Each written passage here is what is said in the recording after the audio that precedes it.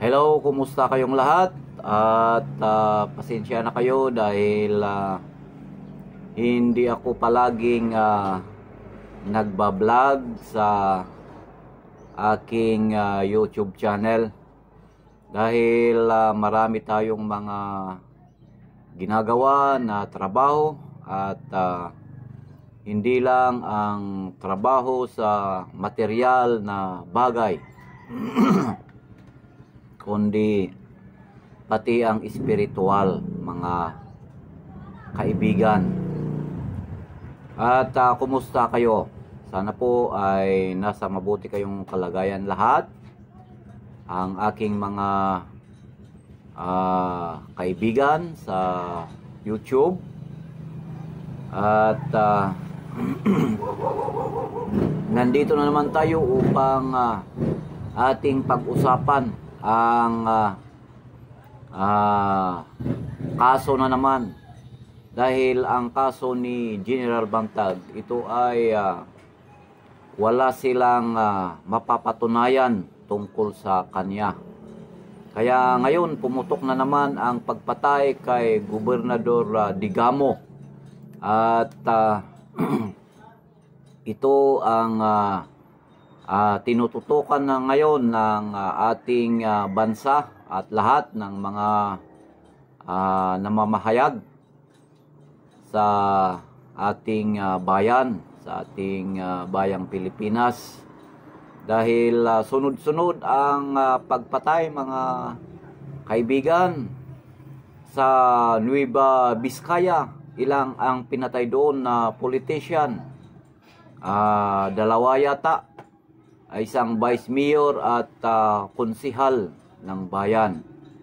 At ah, sa Mindanao naman, may mga pinatay na mga ah, kapitan at ganoon din sa Negros, mayroong mga ah, konsihal ng bayan. At ngayon, ito na si Governor Digamo na naman ang pinatay. Kung ah, pinanood ninyo ang ah, nangyari nung pumasok sila sa bahay ni Governor Digamo ay parang kasama sila sa mga may ah, pangangailangan kay gobernador.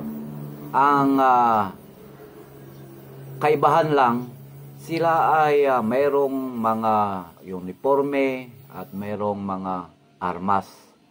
At ah, pwede parang kung titignan natin mga kapatid, ay pa- parang mayroong, parang ah, hindi ko sinasabi na totoo dahil ganun din ang ah, sinasabi ng nag-iimbestiga na parang meron silang kasabwat doon sa loob na ah, kasama ni gobernador.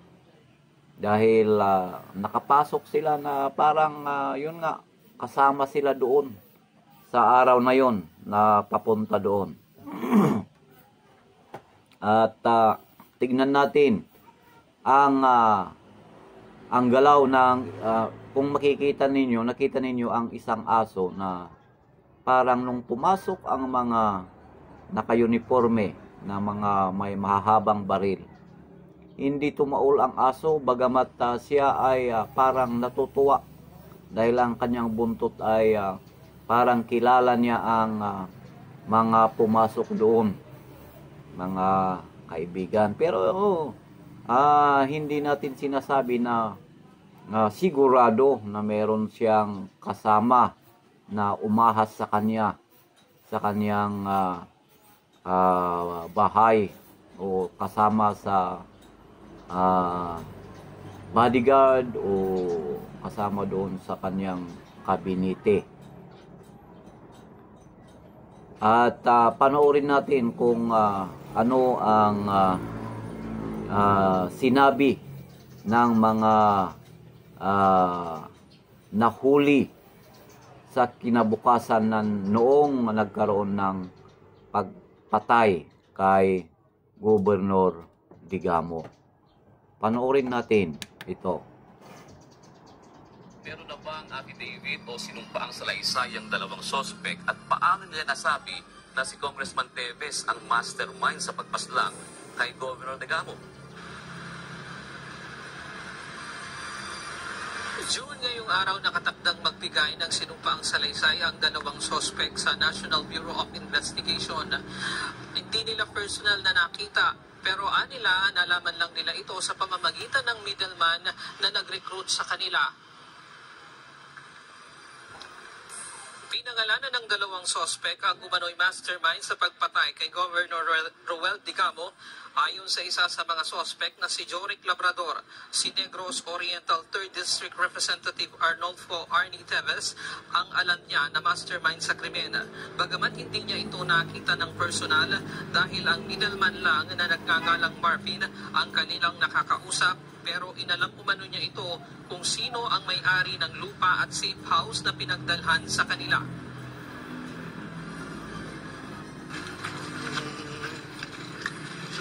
Congressman Davis yung pagka yung kasi yung si Paus namin yung yung si, may ari nagtanong kasi ako kung sino may ari ng yung si Paus namin so, so, Okay. Ano po? Ano po? Sino daw po? Davis daw Davis. Si- sino pong Davis mo, sir? wala pong wala pong pangalan yung sinabi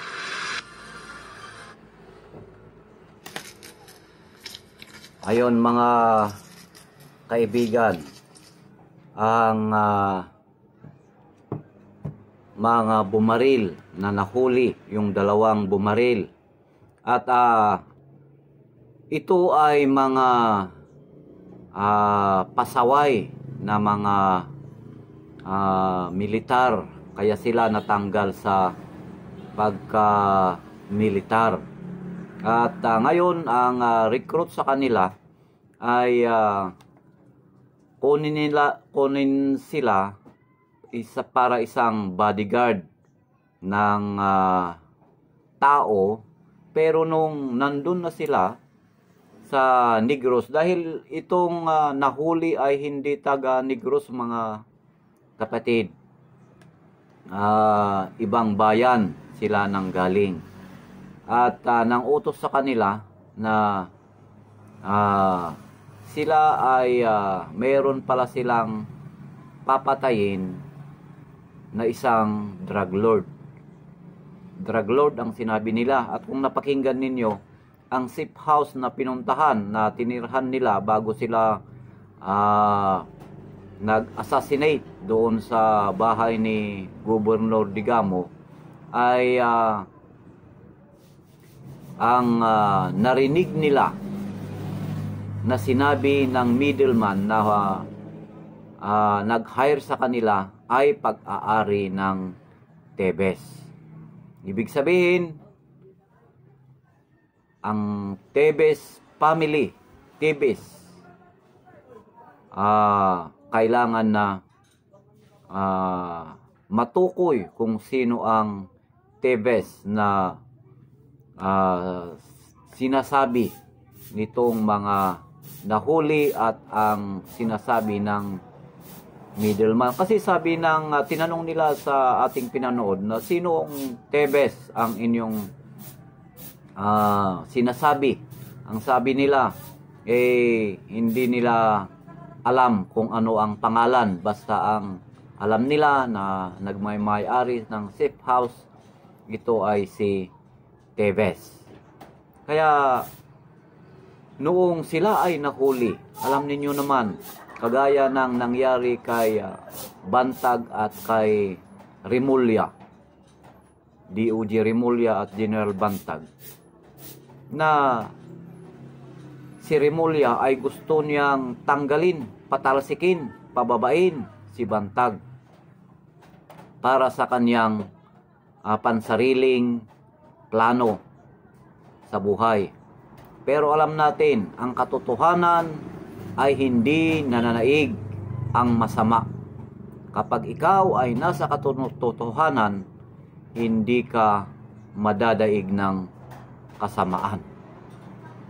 Kaya ayon, alam natin na walang nangyari doon sa kaso ni General Bantag dahil ah, wala ngang ah, probable cause na tumutukoy sa kanya na siya ay mayroong pagkakasala.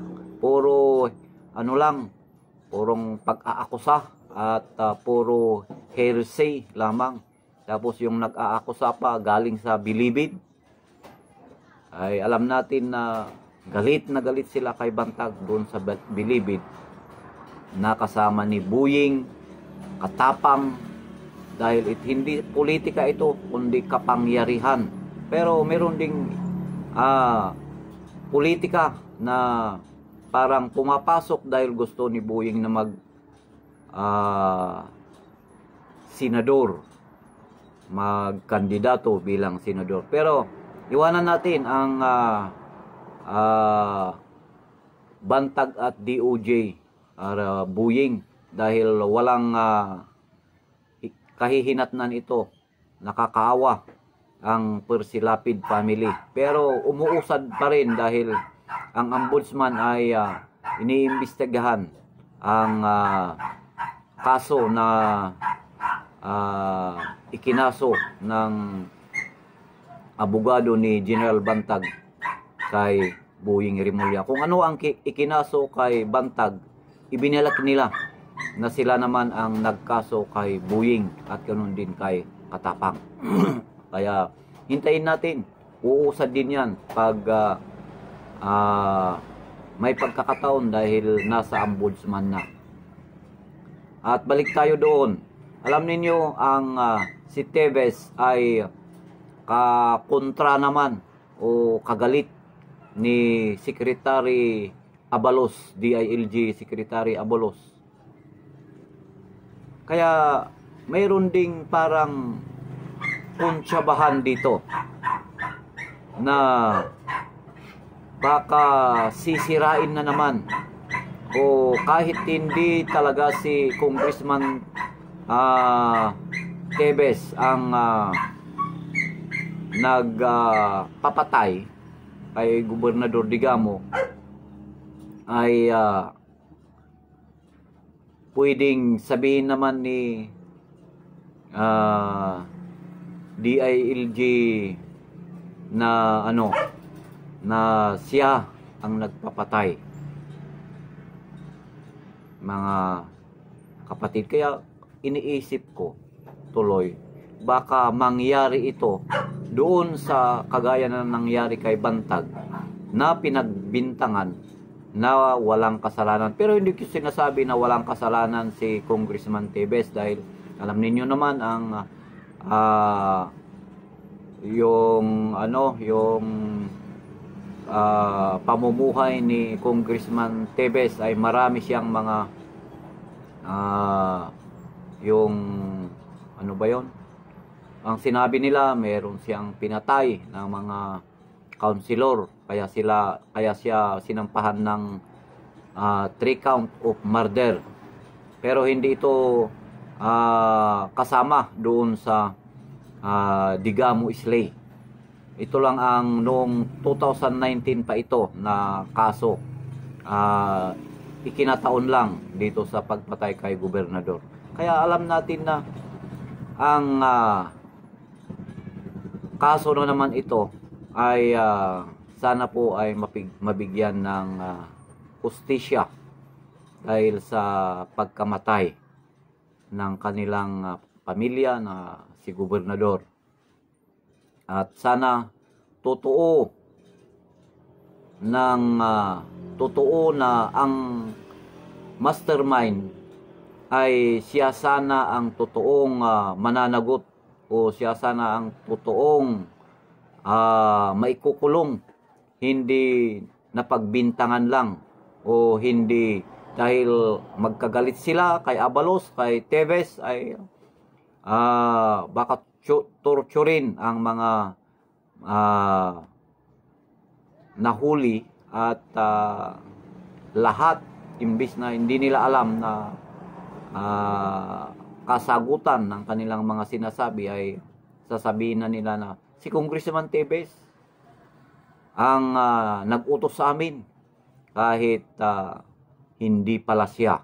Pero malalaman natin sa pag-usad ng investigasyon at ah, kung totoo na hindi si Congressman Teves ang nag-utos sa kanila, ay dapat siyang umuwi na galing sa Amerika para harapin niya ang ah, ibinibintang sa kanya na mga ah, tungkol sa pagpatay kay Gobernador Digamo.